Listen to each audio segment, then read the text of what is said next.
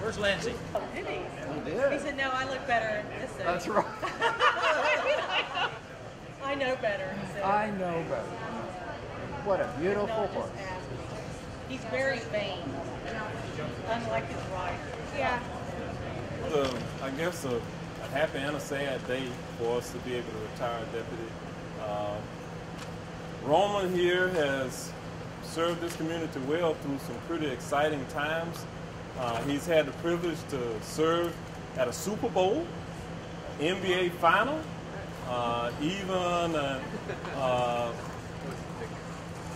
one of our NBA All-Star events. He's uh, served for the last 12 years. So he's been here since he was about eight years old. So he started out very young and has given great work.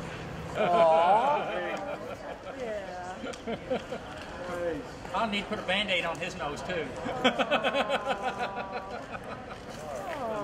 Oh, man. Boy.